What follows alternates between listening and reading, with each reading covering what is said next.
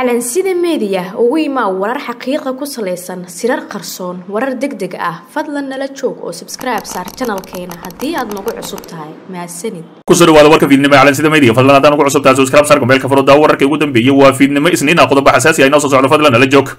xog xasaasiya rooble oo diiday codsi kaga yimid madaxweynaha wakhtigu ka dhacay farmaajo oo ku saabsan shirka muqdisho la filayo inuu ka furmo. Ilo wareegyo kala duwan oo ka tirsan filla soomaaliya ayaa calansida meediya u sheegay in madaxweyne maxamed cabdilaahi farmaajo uu codsaday in uu ka qayb galo shirka la filayo in toddobaadkani uu ka qabsoomo muqdisho. Madaxweynaha wakhtigu ka dhacay farmaajo ayaa ra'iisul wasaare maxamed xuseen rooble u sheegay in maadaama heshiis laga gaaray doorashada soomaaliya islamarkaasina shirka qabsoomaya uu yahay mid farsamo iyo dardargelinta doorashada uu madaxweynaha danaynayo inuu ka qayb galo si uu ula dardaarmo. Madaxda maamul goboleedyada dalka iyo mas'uuliyiinta kale ee ka qayb galaysa. Farmaajo ayaa sidoo kale doonayay in niyad wanaag iyo iscafis la sameeyo ka hor doorashada dalka si rajada shacabka sare loogu qaado. Xogtaan helna ayaa tilmaamaysa in ra'iisul wasaare maxamed xuseen rooble uu madaxweynaha u sheegay in ka qaybgalkiisa ay abuuri karto xasarad siyaasadeed oo cusub islamarkaasina uu dhalan karo. Khilaaf siyaasadeed oo mar kale saameeya doorashada soomaaliya. Cadaadis badan kadib madaxweynaha wakhtigu ka dhacay farmaajo ayaa ku qancay.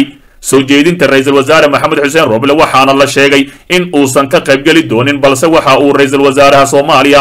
madaxweynaha u ballan qaaday in uu la kulan siin doono maamul goboleedyada dalka oo intooda badan diidan farmaajo. Shirka la filaya inuu ka qabsoomo muqdisho ayaa u baaqday. Qaadacaad uu sameeyey madaxweynaha hirshabeelle cali guudlaabe dhinaca kale wararkii ugu dambeeyey madaxweynaha dowlad goboleedka hirshabeelle cali guudlaabe xuseen ayaa ugu dambeyntii lagu qanciyey inuu ka qayb galo shirka golaha wadatashiga qaran ee ka dhacaya magaalada muqdisho. Rooble oo xiriir qadka telefoonka ahi la sameeyey cali guudlaabe oo ku sugan dalka turkiga ayaa ugu horreyn ka raaligeliyey tabashadii uu ka qabay shirka la filayey inuu maanta qabsoomo maxamed xuseen rooble oo qadka telefoonka kula hadlay madaxweynaha dowlad goboleedka hirshabeelle mudane cali guudlaabe xuseen ayaa ka raaligeliyey tabashadii uu ka qabay. Ka qaybgalka shirka ayaa lagu yidhi war ka soo baxay. Xafiiska rooble. Sidoo kale qoraal kooban oo ka soo baxay xafiiska ra'iisul wasaaraha ayaa waxaa lagu sheegay in madaxweynaha hirshabeelle uu shirka uga qaybgalayo aaladda fogaan aragga ee zoomka maadaama uu ka maqan yahay dalka kuna sugan yahay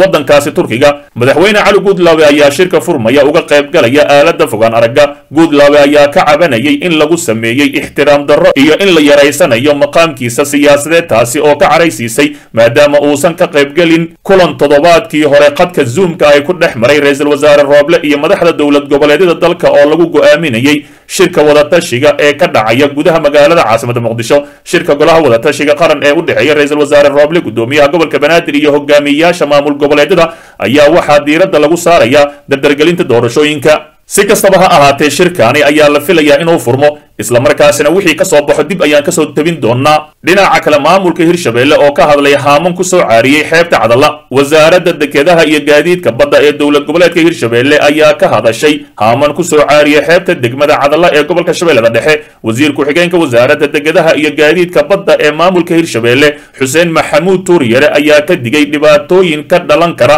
haamankaasi isaga oo shacabka degmada cadalla ugu baaqay in ay ka fogaadaan inta laga hubinayo khataraha ka dhalan kara haamankaasi wasiirka ayaa cambaareeyey maraakiibta shisheeye ee waxyeelada u geysanaya xeebaha soomaaliya gaar ahaan xeebaha gobolka shabeellada dhexe oo dhowr jeer oo hore sidan oo kale haaman ku soo caariyeen xeebta ceelmacaan si kastaba ha ahaatee badda soomaaliya ayaa gebi ahaanba dayacan waxaana mar kasta lagu shubaa sun qashiman oo waxyeelaynaya malaayiga ku jiro badweynta soomaaliya. Allaha noo keena dowladda xoog leh oo difaacda badahayna ama baddayna soomaaliya. Fadlan dib u daaw wararkeenii hore ee calansida meediya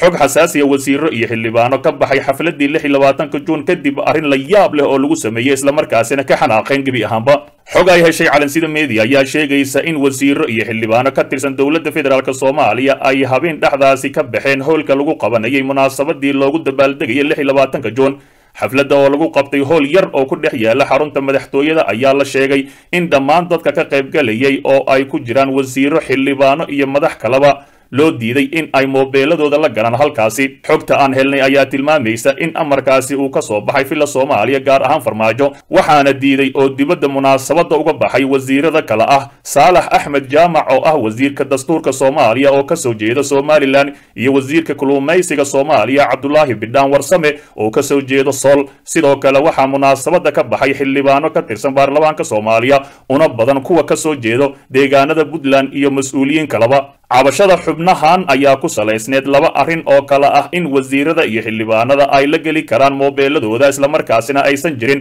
daruuf diidi karta iyo haddii laga reebayo in meel gaar ah loogu rido ama loogu reebo halka hadda mas'uuliyiinta iyo shacabka la casumayba hal meel loogu reebay dood muddo dheer socotay ayaa guuldaraysatay waxaana la sheegay in xubno badan ay ka baxaan xafladda halka qaarkoodna ay bannaanka horeba ka laabteen. Sidoo kale waxaa jiray cabashooyin ku saabsan ciriiriga ka jira howlka oo ay ka dhacaysay xafladda dabaaldegga oo lagu qabtay howl yar. Kadib markii uu codsaday madaxweynaha wakhtigu ka dhacay maxamed cabdilaahi farmaajo taasi oo iyana keentay in xildhibaano qaar oo aan la casumin loo diido inay xafladda ka qayb galaan islamarkaasina sidaasi loo diiday xildhibaano badan oo u nacamleen jiray farmaajo oo la casumin ayaa iridda soo tuurtay islamarkaasina waxaa la yidhi gebi ahaanba mani la casumin howlka waa uu yar yahay iska laabta. Dhinaca kale dowladda federaalk soomaaliya war ka soo saartay weerarkii wisil iyo wararkii ugu dambeeyey khasaaraha halkaasi ka dhashay. Dowladda federaalk soomaaliya oo si adag u cambaaraysay weerarkii ay dagaalyahanada al-shabaab ku qaadeen deegaanada wisil ee gobolka mudug ayaa tacsi tiiraanyele u diray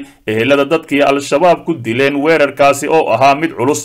ugu yaraan soddon qof oo shacab ahi iyo askar isugu jira ayay al-shabaab ku dileen weerarkii ay ku qaadeen deegaanka wisil oo dhaca koonfurta gobolka mudug. Halka dhankooda al-shabaab laga dilay afartan iyo kow dagaalame sida ay sheegeen saraakiisha militariga soomaaliya wasiir ku-xigeenka wasaaradda warfaafinta cabdiraxmaan yuusuf al cadaala ayaa sheegay in dowladdu ay qaaday tallaabooyin deg deg ahi oo loogu gurmanayo shacabka reer wisil oo muujiyey geesinimo iskana caabiyey shabaabkii soo weeraray. Xukuumaddu iyadoo dhiiro gelinaysa guusha shacabka reer wisil waxay qaaday tallaabooyin deg deg ahi oo gurmad loogu fidinayo shacabka ayuu yidhi. Dadka ugu badan waxaa dilay miinooyinka al-shabaab ku aaseen waddooyinka soo gala deegaanka ka hor inta aysan weerarka ku qaadin sidoo kale madaafiic ayay ku garaaceen deegaanada u dhow wisil markii ay kala wareegeen ciidamada dowladda. Waxaana deegaanka wisil dhaawacyo isugu jira shacab iyo askarba ka soo qaaday diyaarad ay dirtay dowladda federaalk soomaaliya taasi oo keentay muqdisho sidoo kale taliska ciidamada xoogga dalka soomaaliyeed ee gobollada dhexe ayaa xaqiijiyey in afartan iyo kow xubnood kooxda loogu dilay dagaalkii ka dhacay deegaanka wisil halka tire intaasi ka badanna loogu dhaawacay. Dhinaca kale soddon maalin kadib maxaa ka hirgelay heshiiskii labaatan iyo toddobadii mey ee doorashada soomaaliya? Waxaa soddon cisho ka tagtay lixdankii cisho ee heshiiskii labaatan iyo toddobadii mey laba kun iyo kow iyo labaatanka ee dowladda federaalka ahi iyo dowlad goboleedyada dalka kaas oo dhigaya in lixdan cisho lagu dhammaystiro doorashada soomaaliya inkasta oo bil tagtay haddana weli ma jirto wax laga qabtay. Hanaanka doorashada iyadoo lagu wado in muqdisho lagu qabto mar kale shir ay yeelanayaan ra'iisul wasaaraha iyo madaxda dowlad goboleedyada dalka shirkaas oo la sheegay inuu qaadacay guudlaabe oo ah madaxweynaha hirshabeelle. Dowladda hirshabeelle waxay caddaynaysaa inaysan ka qaybgelaynin shirka golaha wadatashiga qaran ee dowladda federaalka. Dowladaha xubnaha ka ah iyo maamulka gobolka banaadir. Uga furmaya magaalada muqdisho ayaa lagu yidhi warka ka soo baxay hirshabeelle. Shirka la filayo inuu dhaco saacadaha soo socda ayaa waxaa lagu wadaa in go'aan looga gaaro arrimaha kale ah kow dib u heshiisiinta gado iyo beledweyne laba jadwalka doorashada laba kun iyo labaatanka saddex ansixinta qorshaha amniga doorashada afar ansixinta habraaca xulista odayaasha ergada iyo bulshada rayidka ahi. Shan waxaa kale oo socda dood ku saabsan in ergada boqol iyo kow lagu soo koobo konton iyo kow ergo. Halka labada deegaan doorasho laga dhigayo hal deegaan doorasho